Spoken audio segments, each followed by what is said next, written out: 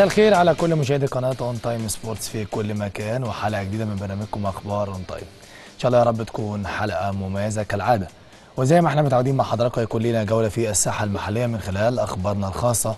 وكمان هيكون لنا جولة في أخبار كرة القدم العالمية وآخر أخبار الألعاب الأخرى.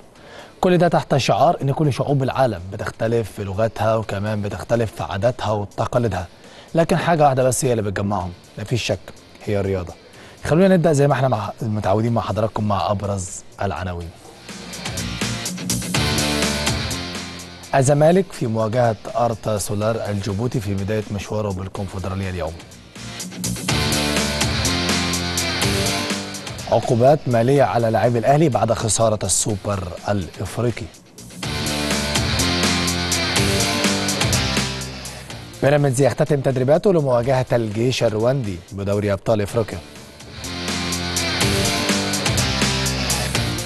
وعالميا محمد صلاح يسعى لتحقيق رقم قياسي جديد أمام ويلفرهامبتون الليلة من العناوين نروح لتفاصيل أخبارنا والبداية مع أخبارنا المحليه بداية حلقتنا مع فريق الزمالك اللي عنده مباراة قوية النهارده الساعة 4 العصر مع أرتا سولار الجيبوتي في دوري في دور ال 32 لبطولة الكونفدرالية. النهارده أبناء ميت عقبة هيستهلوا مباراة الموسم الإفريقي. كولومبي خوان كارلوس اوسيريو المدير الفني للزمالك اتكلم مع لاعبيه على أهمية التركيز أمام أرتا سولار وعدم الاستهتار بالخصم وشدد عليهم بضروره احترامه من بداية المباراة ومنعوا من منعهم من الاستحواذ على الكرة مؤكدا آه إن ضرورة التسجيل المبكر مهمة جدا بالنسبة له عشان يربك حسابات بطل آه جيبوتي في هذا المساء.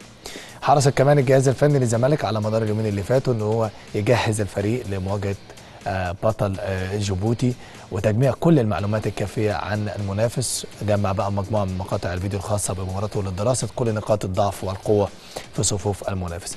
عشان يعرفوا بقى طريقة الاستحواذ بيشتغل إزاي بيحضر إزاي كيفية كمان الاختراق صفوفه من الأمام للخلف عاملة إزاي. وطبعا ده بيشكل أكيد فكر عند المدرب وخطة جديدة عشان يقدر يتعامل معاه. آه طبعا أهم اللاعبين اللي بيعتمد عليهم آه في بناء خطته وأبرز الأوراق الرابحة في صفوفه كل ده اتعرف عليه آه أوسوريو لما صرح واتكلم عن أهمية هذه المباراة. طلب أوسوريو لاعبيه بضروره استغلال الفرص التي تتاح لهم أمام المرمى وتنفيذ التعليمات الفنية المكلفة بهم وضروره نقل الكره بقى بشكل سريع وتمركز جيد داخل الملعب واللعب بشكل إيجابي وضرورة حسم المباراة مبكرا وعدم الانتظار حتى الامتار الأخيرة الذي طبعا ده بيسبب ضغط ذهني على اللاعبين وبدني على اللاعبين. يعني من الآخر الراجل داخل المباراة عاوز يخلص بدري عشان ما يروحش آه للامتار الأخيرة وما يتعبش كمان في القاهرة. طيب لو اتكلمنا عن التشكيل المتوقع للزمالك واللي هيدفع بيه أوسوريو هتلاقي إن التشكيل المتوقع أمام أرتا سولار كالتالي من وجهة نظر فريق الأعداد. آه يمكن لحراسة المرمى محمد صبحي خط الدفاع حسام عبد المجيد ومعاه محمود علاء وحاتم سكر وحمزة المسلوسي. لاعب الوسط هتلاقي عمرو السيسي نبيل عماد دونجا مصطفى شلبي إبراهيم رضاي يوسف إبراهيم أوباما يعني عودة جديدة طبعا لأوباما. خط الهجوم هتلاقي سيف الدين الجزيري وطبعا بيفتقد الزمالك في هذه المباراه لأحد أهم أوراقه في الفترات الأخيرة أحمد سيد زيزو وطبعا ما فيش شك إن برضه غياب فتوح مؤثر جدا لأنهم طبعا متعرضين لإصابة خلال تواجدهم مع منتخبنا الوطني بالمعسكر الأخير الأمر الذي دفع أصول تجهيز بعض البدائل للاستعداد للدفع بهم في هذه المباراة.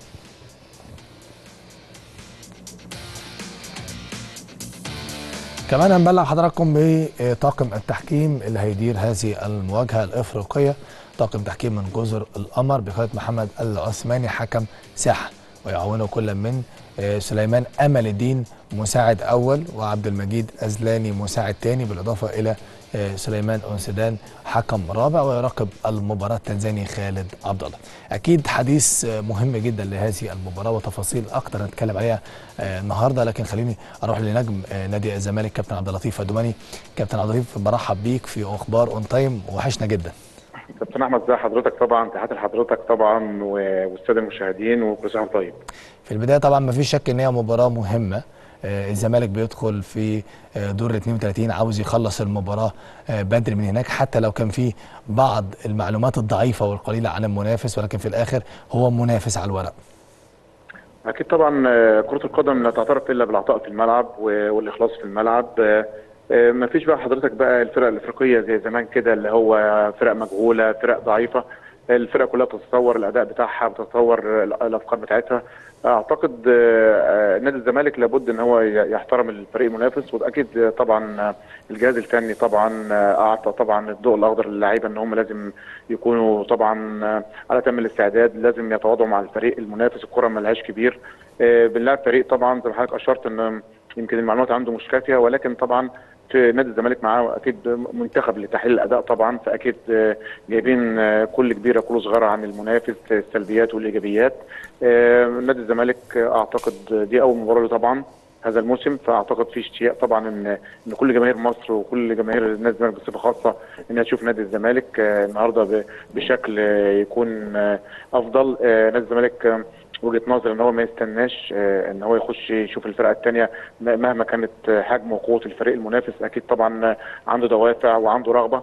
وبلاعب نادي الزمالك وعارف قيمة نادي الزمالك فبالتالي الدوافع هتكون عند نادي أكتر بكتير. لكن وجهة نظري أنا شايف إن نادي الزمالك إن شاء الله يقدر يحسم طيب. المباراه من من بدري. مطلوب إيه من نادي الزمالك في هذه المباراة؟ 1 2 3 المطلوب الأول إن أنا لازم أعمل حساب المنافس. ده رقم واحد. مم. رقم اثنين لازم ما استناش المباراة لازم أضغط ضغط عالي من بداية المباراة أخلص المباراة من البدايات. خاصة عندنا الإمكانيات البشرية والإمكانيات الفنية اللي هي تقدر تحقق المراد من المباراة وهو إن أنا أقدر أخلص المباراة من من بدايتها. نادي الزمالك ما فيش قلق عليه. أنا عايز أقول معلومة نادي الزمالك مع اوسيرو أعتقد 14 مباراة ب 30 هدف فالنسبة التهديفية عالية جدا عند نادي الزمالك. وده ده حاجة تدعو للتفاؤل إن نادي الزمالك بيعرف يجيب جون الراجل عنده أسلوب لعب عنده تبادل مراكز عنده استحواذ بشكل جيد جدا. المهاجمين ما بيقدروش يفقدوا الكوره بسهولة أعتقد الفينش بالجزيري بينتهي بشكل كويس عنده حلول في جوه الملعب طبعا غياب زيزو بالطبع مؤثر جدا صحيح جداً كنت لسه. أكلمك عن غياب زيزو كمان أحمد فتوح احد أهم الأوراق الرابحة في الفترات الأخيرة لكن وجود أوباما وعودته طبعا مع نادي الزمالك مع جاهزية شلبي والجزيري أكيد برأيك هتعوض الفوارق دي ولا لأ؟ أكيد هتعوض ولكن زيزو علامة فارقة طبعا زيزو من أفضل اللعيبه في أفريقيا في الفترة اللي إحنا فيها دي صحيح.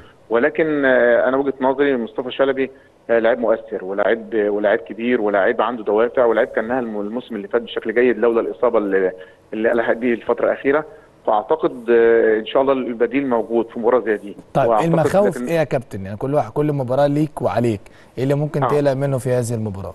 المخاوف البداية البدايه طبعا بتبقى صعبة في أي بطولة يعني البداية طبعا بتبقى صعبة. أنا برضو بلاعب فريق على أرضه و- وبرضو حتى لو عندي معلومة بس معلومة مش كافية قوي ال- ال- ال- المخاوف إن أنا ممكن ما أهتمش قوي ما أقدرش الفريق اللي قدامي ما أعملش حسابه.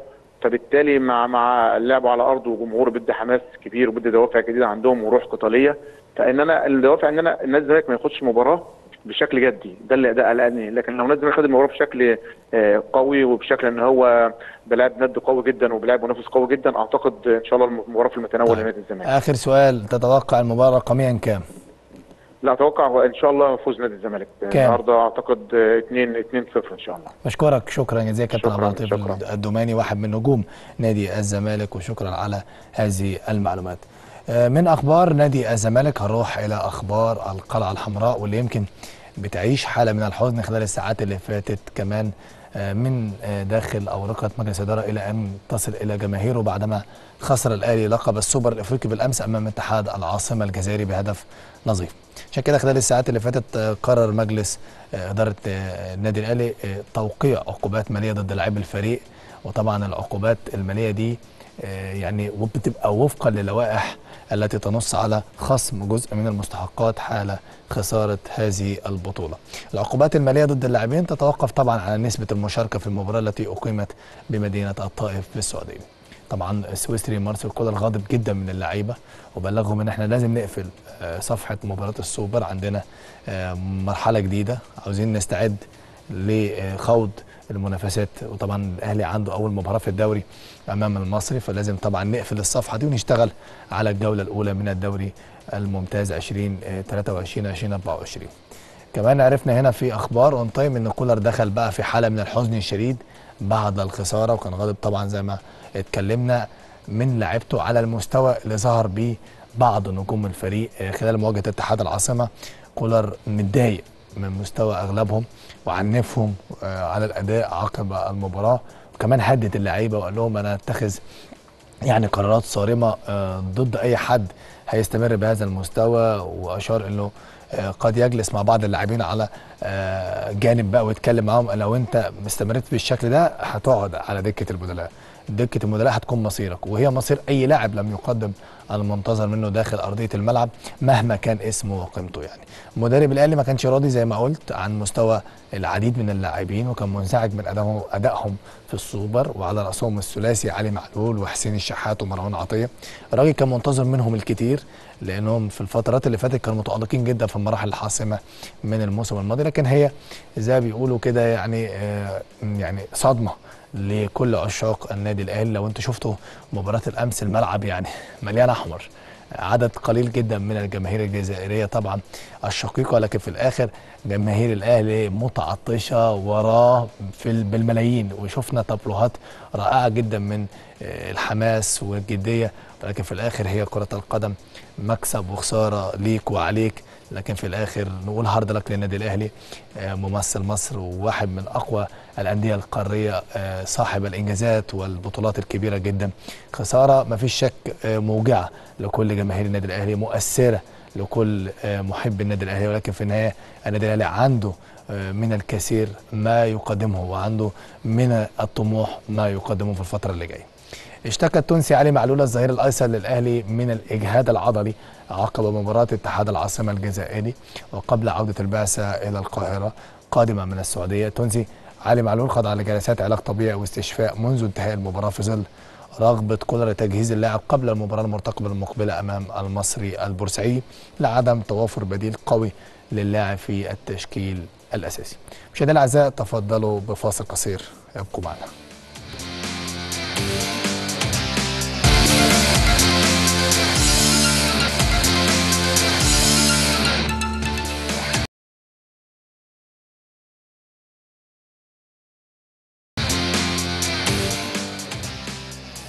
برحب بحضراتكم من جديد ولسه مكملين أخبارنا المحلية والبداية عند النادي الإسماعيلي. حدد مجلس إدارة النادي برئاسة المهندس ناصر أبو الحسن آه نصر أبو الحسن عفوا الأول من أكتوبر المقبل موعدا لصرف مستحقات اللاعبين بعدما تم صرف جزء في الأيام القليلة الماضية قبل انطلاق الدوري. كان الإسماعيلي استغل أموال صفقة انتقال باهر المحمدي قائد الدراويش السابق للمصري البورسعيدي والمقدرة ب 20 مليون جنيه لتسديد مستحقات بعض اللاعبين على دفعات. ويرغب مجلس الإسماعيلي في فرض أجواء الاستقرار والتركيز على جنبات الفريق الأصفر لتحقيق رغبات الجهاز بقيادة إيهاب جلال قبل انطلاق الموسم الجديد. ويستعد الإسماعيلي لافتتاح مشواره بالنسخة الجديدة لبطولة الدوري المصري بمواجهة زد الصاعد حديثا لدوري الأضواء والشهرة والمقرر لها الرابعة عصرا الثلاثاء المقبل على استاد القاهرة الدولي ضمن منافسات الجولة الأولى لمسابقة الدوري المصري. هينتظم محمد زكي الوافد الجديد لطلائع الجيش في تدريبات فريقه اليوم السبت استعدادا لمواجهة البنك الأهلي في ضربة بداية الدوري. بعدما تم التعاقد معه على سبيل الإعارة لمدة موسم من صفوف أسوان وعلى رابطه الأندية المحترفة افتتاح الموسم القروي الجديد 2023 2024 الاثنين المقبل في السابعة مساء بمباراة طلائع الجيش والبنك الأهلي على استاد جهاز الرياضة. وتعاقد طلائع الجيش مع 13 صفقة في الميركاتو الصيفي أبرزهم التونسي حسام بن دقدوق مدافع الترجي التونسي لمدة موسمين في صفقة انتقال حر كما تم تعاقد مع أحمد الشيخ وحميد ماو من غزل المحلة بشكل رسمي. وتعاقد مع الغينا الغيني موسى ديارة من البنك الأهلي لمدة موسمين في صفقة انتقال حر كما تعاقد مع الثنائي مصطفى الخواجة صانع ألعاب سموحة وعمر طارق السعيد. لاعب وسط الترسانة وآخرهم طبعا كان محمد حمدي زكي اللي إحنا لسه بنتكلم عنه. يختتم فريق الكرة آه الأول بنادي بيراميدز تدريباته الجمعية اليوم على استاد بيلي بالعاصمة كيجالي في إطار الاستعداد لمواجهة الجيش الرواندي في إطار مباراة دوري أبطال إفريقيا. وخاض فريق بيراميدز تدريباته الجمعية الأول أول أمس الجمعة حيث وصلت البعثة إلى رواندا مساء الخميس. ومن المنتظر أن يضع الجهاز الفني خطة المباراة وتحديد التشكيل الأساسي الذي سيعتمد عليه في اللقاء. وتقام المباراة في الرابعة من مساء غدا الأحد على استاد بيلي بالعاصمة كيجالي وهو ملعب من النجيل الصناعي. وضمت القائمة 23 لاعبا وجاءت على النحو التالي. حراسة المرمى أحمد الشناوي شريف إكرامي يوسف نادر. خط الدفاع علي جبر أحمد فتحي أسامة جلال أحمد سامي محمود مرعي كريم حافظ محمد الشيبي. أما لاعب الوسط فبلاتي توريه وليد الكارتي عبد الله السعيد. رمضان صبحي مهند لاشين مصطفى فتحي إبراهيم عادل أحمد توفيق سيف جعفر وأوجو صمويل أما في الهجوم فخري لقاي وفيستو ميلي ودودو الجباس. من أخبار دوري الممتاز؟ نروح لأخبار دوري الممتاز به. حيث قرر مصطفى طلعت لاعب طلائع الجيش والأهلي والأولمبي والإسماعيلي ووادي دجلة وتيرن أوت البلجيكي والداخلية. وأخيرا اتحاد الشرطة اعتزاله كرة القدم في عمر 36 سنة. ويعتبر طلعت أحد ناشئي الأهلي في جيل محمد الشناوي ومؤمن زكريا. لاعب كبير قدم خدمات كبيرة جدا على مدار السنوات اللي فاتت ولكن هذه سنة الحياة لكل بداية لها نهاية. من لك التوفيق درش في مرحلتك القادمة إن شاء الله. نروح لنادي مصر المقصة اللي بيستعد لدوري المحترفين حيث يواجه فريق أبو كاسا في ابوكسا في الخامسة مساء آه، إن شاء الله في ظل استعداد آه، الفريق لبداية دوري المحترفين حيث يستعد لمواجهة فريق وادي دجلة في الجولة الأولى لدوري المحترفين. نروح لنادي المنصورة اللي بيستعد لدوري القسم الثاني وتعاقد الفريق مع محمد أوشا لاعب فريق وي في صفقة انتقال حر ويستعد الفريق لمجموعة الدلتا حيث يواجه فريق نابارو في الجولة الأولى للدوري. يواجه عصر اليوم فريق النصر التعدين نظيره الأقصر في نهائي الدورة الودية التي تقام بالأقصر وتضم أندية الأقصر وقنا والمدينة المنورة والنصر للتعدين ويستعد فريق النصر للتعدين لبداية دوري المحترفين. بكده تكون خلصت فقرتنا الأولى. هنروح لفاصل قصير. تفضلوا بالبقاء معنا.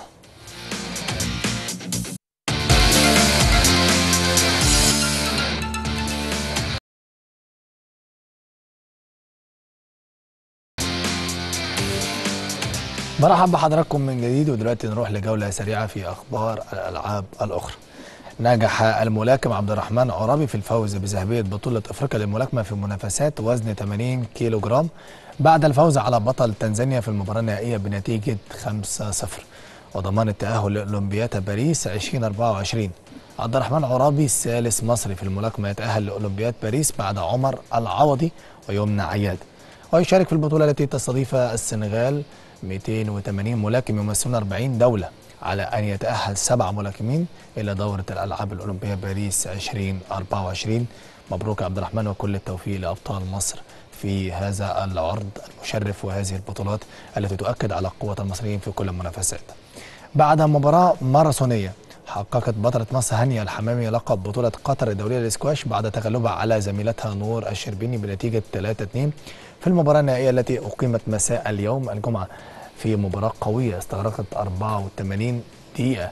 آه لعب يذكر أن بطولة قطر الدولية للسكواش هي إحدى بطولات البلاتينيوم الكبرى والبالغ مجموع جوائزها 187 ألف دولار في مكافآت الرجال ومثلهم في السيدات طبعا لما نيجي نتكلم عن آه مين بيلعب مين بتلاقي مصرية بتلاعب مصرية هانيا مع نور يعني ده يعني بأكد وبعيد إن أنا اتكلمت برضو امبارح في التنس الطاولي في عفوا في تنس الطاولة. بيلعب زوجي يعني مين بيلعب مين؟ مصري بيلعب مصري. مصرية بتلعب مصر. فاحنا كده كده آه، مستوانا على مستوى الاسكواش إحنا number 1 وابطالنا بيشرفونا في كل البطولات وفي كل الإنجازات وده شيء مش جديد علينا. لسه مع أخبار بطولة قطر الاسكواش حيث يلتقي بطلنا علي فرج المصنف أول عالميا مع البطل البيروفي دييجو إلياس في نهائي بطولة قطر الدولية للاسكواش ونجح فرج في التأهل للمباراة النهائية بعد فوزه على الويلزي جويل ماكين بثلاثة أشواط نظيفة. وبنفس النتيجة استطاع إلياس آه، تحقيق الفوز على بطل مصر مازن هشام. طبعا كل التوفيق لأبطال مصر سواء آه، في السيدات وسواء في الرجال. ودلوقتي جه ميعادنا مع فقرة وان شوت فقرة وان شوت في نركز فيها دايما على آه، كل اللقطات الإيجابية أو أي خبر إيجابي.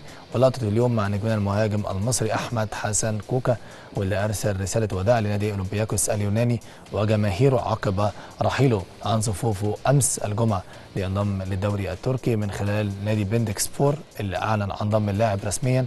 وكتب كوكا في رسالته عبر حسابه الرسمي على موقع الفيسبوك اليوم أعلن رحيلي عن عن أفضل نادي في اليونان. واحد أفضل الأندية في أوروبا. مضيفا لقد كانت تجربة مذهلة وكنت سعيدا جدا في كل دقيقة لعبت فيها بهذا القميص. وأضاف المهاجم المصري شكرا للجميع في هذا النادي وشكر خاص لجميع مشجعي أولمبياكوس على كل الحب والدعم الذي قدمت قدمتموه لي منذ انضمامي لهذا الفريق. واختتم كوكا لسوء الحظ الوداع دائما هو الأسوأ ولكن كما تقول دائما أنت واحد منا. وأنا أشعر بذلك حقا. لذلك أينما سأكون سأدعمكم وأشجعكم دائما أحبكم أحب اليونان وسأزورها دائما. كل التوفيق لكوكا وكل التوفيق لكل نجومنا المصريين في دوريات العالم. آه، مشاهدينا الأعزاء بكده خلصت حلقتنا النهارده من أخبار أون تايم. اشوفكم على خير ودايما بالخير في أخبار أون تايم.